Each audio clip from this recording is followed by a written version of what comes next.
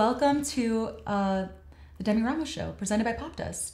I'm so excited today because we're going to talk to Zolita, and she is a multifaceted artist. Um, so we're going to find out about her journey from top to bottom. And how are you doing today? And what are you wearing? She looks amazing. I am doing so great. I'm just wearing a suit, you know? I was like, it's feeling like a suit kind of day. This is Mugler. It's my favorite, my favorite designer in the Oh, world. Oh. Are you into fashion? Yeah, definitely. So, Definitely. so Mul- Mulgers? Mugler. Mugler. Thierry Mugler. Yeah. Oh, Yeah. No, my my favorite designer like of all time. Do you enjoy um, the whole process of like getting up and getting ready? Definitely, definitely. But I feel like there's phases in my life where I'm like I put much more time and effort into the way I'm presenting myself, and I feel like maybe right now I'm not as much in that space. But um, I think living in New York, I probably was more in that space because people like actually genuinely care about you know how they present themselves. But here in LA, it really like no one really puts very much effort in. That's true. And you're from Calabasas, Yeah, right? I'm from You're Calabasas. From California, Cali Mhm. girl. yes. Um, I want to start from like when you were a little girl and like Yeah. you discovered your talent.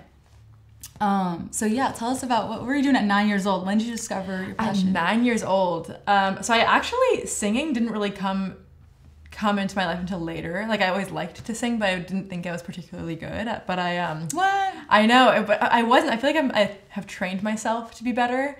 But um, naturally, I was better at guitar. So I started playing acoustic guitar, and it was bluegrass, which is so different than what I'm doing now, obviously. But um, so I started playing acoustic guitar, and and then also just like loved directing from a really young age. So at that part, at that point in my life, it was like directing all of my friends and like making plays and like putting on plays and shows for the parents and stuff like that. And then like you know stealing my parents' video camera and and like shooting little movies with my friends and stuff. So yeah, so when I was nine, I was definitely doing that. But I was also playing guitar and then um, and then eventually started writing just for myself. You know, I think the first song I wrote. Yeah, tell us about that first song. Oh my god, I was I was seven. Is it about your crush? I was seven years old. No, it wasn't even about a crush. It was my parents were trying to make me eat broccoli, and I really didn't want to. And they sent me to my room, and I wrote a song. And it literally, I can remember. It's like it was like sometimes it is easy, sometimes it is hard in life. Oh yeah, like so melodramatic. Seven years old. Was, did not want to eat broccoli. Okay, so going back to Cali Girl, is it true? There's so many stigmas about New Yorkers. yeah, yeah. Um, just people from anywhere. Is it? Yeah. What stigmas are true about like natives to Cali um, versus like what's false? Maybe from a real native Cali native girl. to okay let me think um i think especially in la and in the industry like the idea that people are are fake or that people are social climbing or like are using you that is kind of true in a lot of a lot of um, places in la i think you can absolutely find you know really incredible people and i have an amazing friend group around me but like if you're trying to find those people really like thick in the industry or especially like in the influencer space like you're not going to like everybody's is like when you meet somebody it's kind of like people are like what can i get out of you it's Oh it's kind of like Yeah, an you're not the unspoken agreement person that said almost and it's That's crazy. yeah so i kind of stay away from that scene It's so not New York too, because you've lived in New York for six years. yeah it's which is so different like So new york is Nobody gives so a f like who anyone is. no at the party. everyone fucks with It's each so other weird. it's it's yeah no it's i miss that about new york a lot and also if, if somebody's trying to get something out of the other person they're very upfront and blunt about it it's not like this sneaky Like, like, oh, so wanna work? Let like- me befriend you and then like use you and like Wow. but um i live on the east side in echo park and so i feel like i'm a little bit away from that that scene which is nice Oh man. Yeah. And what do you think about like influencer culture in general too? Because that's like a, it's kind of like a new thing in the past five years. yeah artists but it's have kind to of be dying a little bit i don't know maybe that's just my i'm like i hope it's dying It's but like not trending anymore. To be, yeah, yeah, but it's it's I guess it's just ever changing, right? But yeah, no, artists that is I feel like 95% of a pop artist's job right now is social Mm. media and is like being your own marketing machine. I also wanted to really get into, um, you know, sexuality kind of talk because I Yeah, mean, yeah.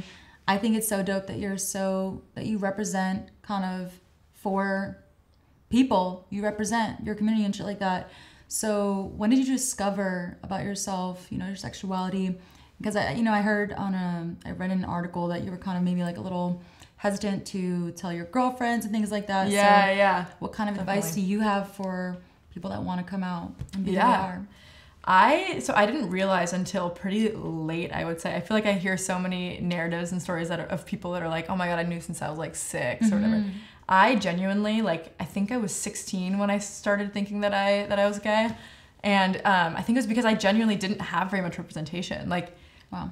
I literally I knew Ellen was gay and that was it. Like there was just wasn't very many like there weren't like lesbian characters on true. TV and stuff That's so and true.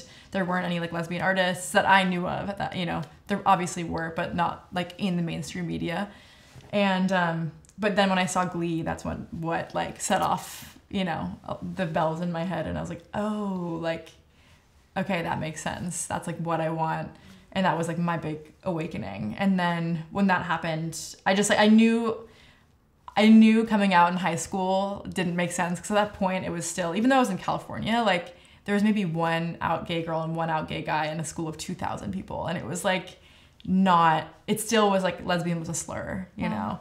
And obviously that's changed so much um, at my high school my old high school. But yeah so i got into nyu and i was like i know that everybody in new york is going to be gay pretty much and i'm going to go. just wait. I was like i'm going to wait till i get there to come out because it's not even going to be a thing when i go there. And so yeah but but advice i would say um i think i've always said like take take your time. I think people are so quick to like oh my god wait i don't know. Could i be bi? Am i lesbian? Am i this? Like don't you don't have to feel like i have to like rush to label And you myself. have to tell anybody actually. if you don't yeah yeah like take your time with it. And also like i love I know I love the word queer as an umbrella term. If you're not feeling like you want to completely, you know, like choose a label that's such a nice umbrella label, um, and then also like if you're not in a place that's that you feel like safe to come out or you feel ready, like even identifying just one friend in your life or one even if it's an internet friend, like somebody that you feel like you can open up to, like that is everything. It like relieves so much of the the feeling of like not being able to share yourself. And I, I remember in high school, like there was one girl um, who I was friends with that I that I told before everybody else, and so she knew for a year before anybody else did, and and I got so close to her because of that. Because I was like, oh, you know all of me, you know. So I think just like even finding one person is is really important. You're also like you're also I would say, I mean, feminist. Yeah, You're, you yeah, know, yeah, big yeah, on feminism and like a girl's girl. Yeah, And I think that's so dope. And I feel like not enough women talk about that, yeah, yeah. but you do. And um, what does that term mean to you? Oh my gosh, feminism. It's so funny to even talk about it now in 20 I mean, I guess it's still just as important as it was in when Trump took office in uh, 2016. You even released a song in protest. Fight like a girl, yeah. yes, fight like a girl. Yes, yes. Um, in protest of the election of yeah. Donald Trump. Yeah, yeah, yeah. My Which is so ballsy, man. the- So ballsy. Oh, thank you, thank you. Yeah, I mean, feminism is always to me just like having equal opportunity and, and Mm-hmm. you know, equal opportunity, equal pay, um, just equality across across everything. Respect. Yeah. It's, it's, I think more than anything too. Yeah. It's, like, it's like a respect thing. Absolutely. you know? Yeah. Cool beans. Yeah. Wow. Okay, so NYU. Yes. Moved to New York. Yes. Was it a shock to you? Because I mean, you're in LA, California. And sometimes you get shocked. People, you know, come Yeah, to LA yeah, and be yeah. like, whoa. Okay, it wasn't. I think maybe because I was literally two years old when I moved, but I was born in New York. Oh, fun. And I spent my first few years of my life on Bleecker Street, right by NYU, and I feel like it's in my body, kind of. Mm-hmm.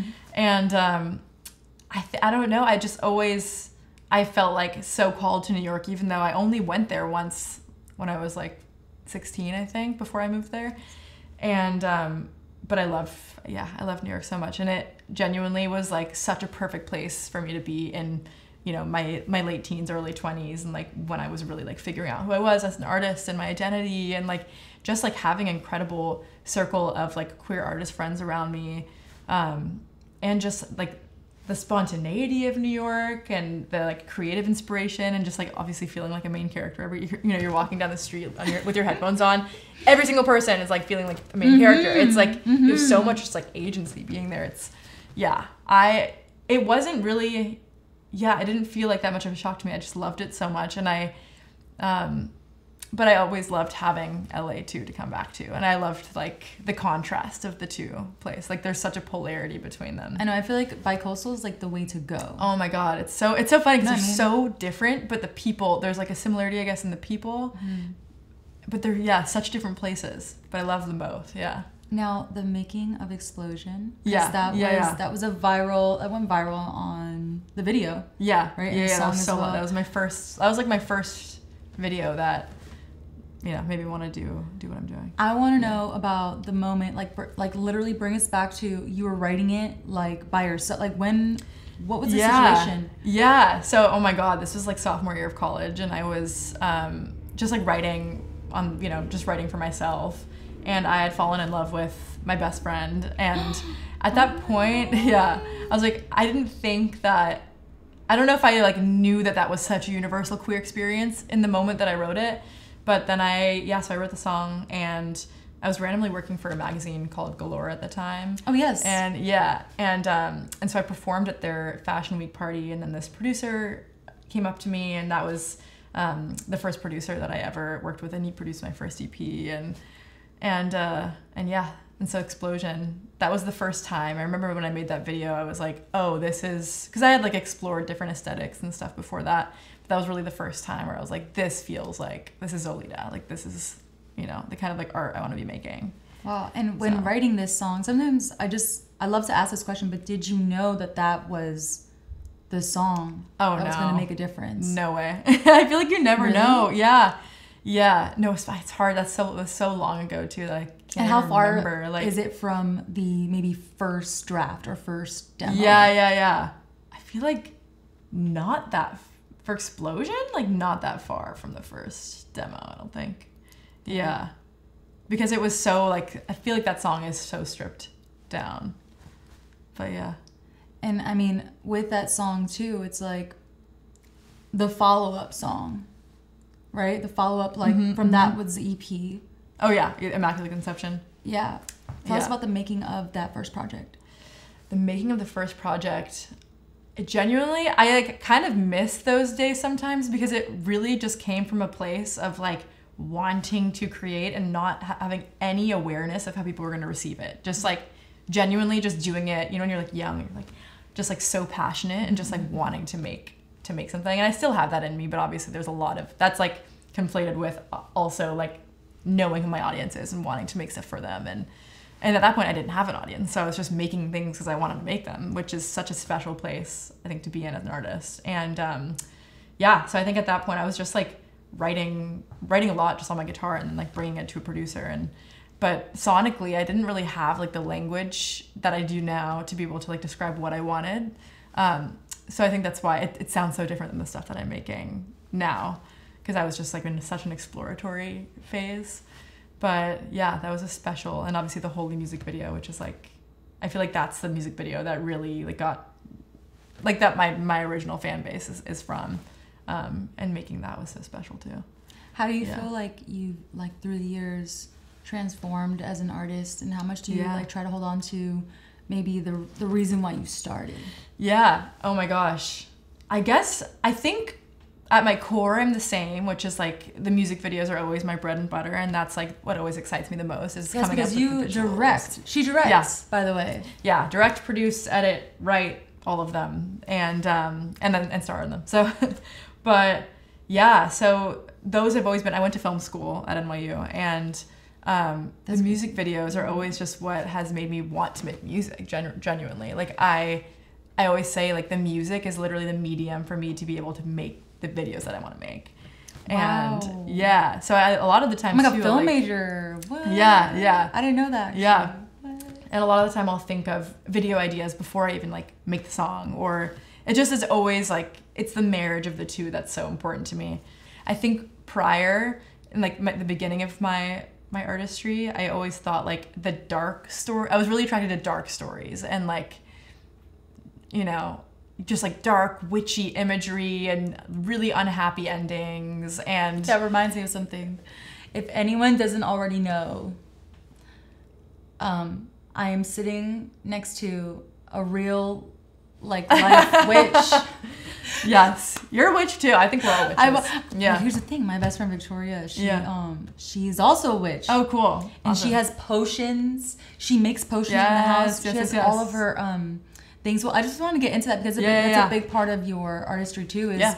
um how would you even describe it? I, I actually read about this though. Yeah. So how would oh, you being describe- being a witch. I just think it just means tapping into your intuitive energy. You know. Really? Yeah, and I think we all have it inside us, and I think you don't even need all the tools, but, um, but yeah, but it is fun and dramatic to be able to use the tools. I like I swear I read an article on you and like witch and like your like witchcraft. Yeah, Do you know like is it I'm fascinated by this by the way. yeah.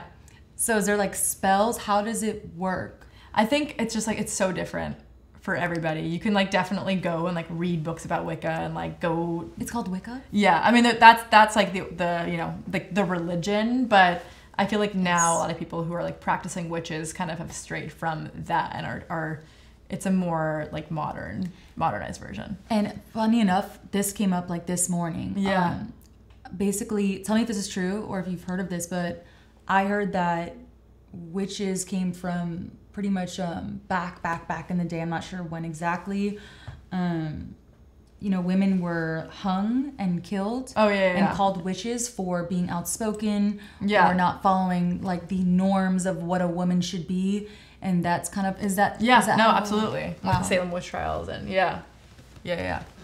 How did you connect to To being a Wicca. witch, I think that I so I grew up uh atheist. Like my dad was atheist, my mom was agnostic and with no sense no like spirituality in my life at all. And I think that's what made me so drawn to it. And I I was kind of a spiritual tourist for a little bit and was like trying all different kinds of religions just by way of like different friends I had and stuff. And then when I found Wicca, I was just like, oh, this is like the power is in you. It's not some like outside God that I have to like answer to. You know, it's like the idea of Wicca is like that there's power inside you and you create your own destiny. And you're like, you're working with like the magic of the universe, but it's the power is ultimately like you and you have agency. So it's So- very far from maybe what like Hollywood has portrayed Uh-huh. witch to be like hocus pocus when people s- oh my God. Yeah. they think yeah. so it's actually more so different. spiritual. Yeah, absolutely. Yeah. That is Yeah. But yeah, but but going back to that question about like just like things being dark, like I like I felt like I needed dark, which I still love, obviously like dark witchy imagery. But I feel like recently, so my last the trilogy that I did, um, it's super like it's it has a super happy ending. The imagery is super lighthearted. It's like calls back to like high school rom coms and and I think I just realized and that did so so well. And I think I realized I'm like just because something is like lighthearted and has a happy ending doesn't mean it's not like art. It's still like true art, you know. And I think I used to think it had to be like dark and unhappy to be like considered like art. Um, so I think that's the way I've, I've changed as an artist, maybe. People describe your your genre as dark pop as well. Yeah, yeah, is that yeah, like yeah. is that like on purpose? I think not anymore. I think I don't really think I make dark pop anymore. I think it's, now it's just like pop, like maybe a little bit of like like pop punk, but yeah, it's definitely shifted. I don't think it's as dark pop. That's dope. Yeah. You released a new track in September. Yes. And yes, the visual yes. for that is actually really dope. Check that out. Like Yeah. her visuals are crazy. Yeah, so you. tell us about that song and what um, we can expect next from you because we're Yeah, it's yeah. always a surprise. Everything's so so yeah so i have an ep coming out which i'm super excited about and um, so the first song was 20 questions and that came out in september Mm-hmm. and so we shot four music videos uh, for this ep and they all connect again so kind of like the trilogy but even more more videos in the trilogy um, and and yeah so the next video is coming out next week and it's called ruin my life and then there's there's two more after that and the ep i'm super excited about it it's like there's definitely a mix of kind of like the pop punk stuff that I've been exploring, but then there's also a lot more. Um, my song "I Fucking Love You" I think is a good example of just like the really like just like good vibes pop music, like you know, put your windows down, listen to it in the sunshine, like that kind of energy. And I think the the themes of the EP, like there's something for everybody because deals with like falling out of love and then also falling back into love. So there's there's a little bit of everything. Speaking of Yeah. falling in and out of love, Yes. it's my favorite topic. Yeah. honestly. Um, what's it like, you know, being Zolita dating? You know what I'm saying? Yeah, Like yeah. I can only imagine it's like you probably have a gazillion options and then it's like, oh man, gotta choose one or maybe you don't. I don't know. What, what's it like? What's going on? So I have a girlfriend who is so perfect and wonderful, and I love her. Um, but I, for the longest time, like for years, I was like serial, just like dater. Like Oh, man. dated so many people. I know LA does that to you. Why is that? Yeah, I don't even know if it's LA. I think I was just like I was in a place where I'm like, I don't want to be. I, I can't. Don't have time. I like Get don't want to be serious with up. anybody, Mm-hmm. and I'm not ready for that. And I had yeah gotten out of a bad breakup too, and so I was just you know what I'm gonna like just meet people and like you know I love I love dating, but I'm also a Libra and I love talking. So it was just fun to go. I loved like meeting, even if I Mm-hmm. was like okay, even after ten minutes, I'm like I'm not that interested in you romantically. I'm like let's have a great conversation. Like Mm-hmm. and I feel like, especially in the lesbian community, like you can meet like so many of my friends are people that I used to go on dates with. Okay, so when's the EP come out? The EP comes out in February, February. and I'm gonna go on tour. I'm so um, tour. Yeah. You forgot to. Yeah. What's the situation? So I'm touring in February, and it's a small, small tour, but it's the my first headline tour. So I'm so Let's excited. go. Yeah. Does that It's so feel more like? Is it like what are the emotions for like a first headline tour? I can't even imagine. Oh my god, I'm just really excited that everybody in the audience is gonna be like, probably like you know like major fans, like people you. that have come for come for Yeah. me and that have Mhm. known my music. It's so fun to meet people who have known me and who have like stuck along the ride with me like Grown since Yes. you know since the beginning. So that's so exciting. That's yeah. so cool. Is that starting winter? um, it's gonna be in February. February. Yeah, when the EP comes out. Let's go. Yes. And the, do we have an EP title yet? Yes, No, but it's a top secret info. yeah, yeah. Okay. You'll it'll you'll kind of know once I announce the tour. People will kind of figure out what the EP title is, but Well, thank you so Yes, much. thank you so much. For so sharing great. your story. Yes. Super inspirational. oh, thank you so much for having me. This was so and fun. Hell yeah. Yeah. You just watched uh, the Demi Ramos show. This is uh, superstar Zolita. And um, see you next time.